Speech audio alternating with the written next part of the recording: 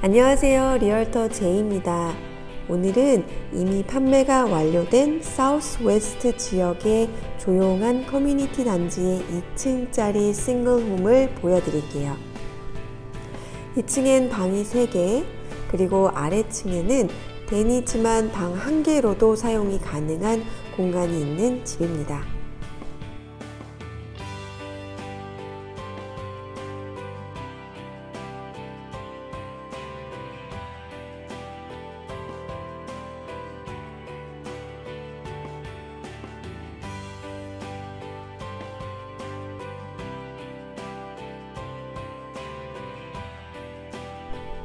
역시나 오늘도 열일을 하는 우리의 인스펙션 담당 제이슨이 보이네요. 이제 2층으로 올라가 집을 살펴보실까요? 참고로 2017년생인 이 집은 좋은 주인분을 만났답니다. 자, 그럼 영상으로 집안 내부를 저와 함께 살펴보실까요? 그리고 영상이 마음에 드셨다면 꼭 잊지 마시고 리얼터제이 힘내라 좋아요 구독 그리고 알람 설정 잊지 말아주세요.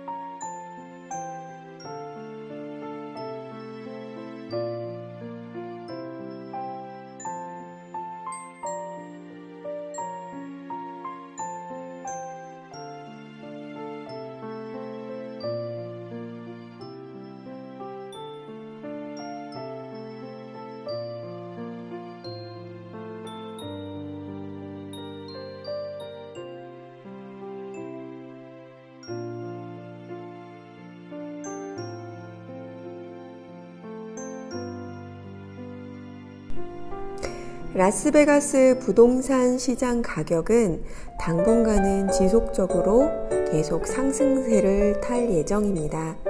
부동산 구입을 고려하셨거나 집을 판매하고자 생각해 보시고 상담이 필요하시다면 언제든 연락 주세요.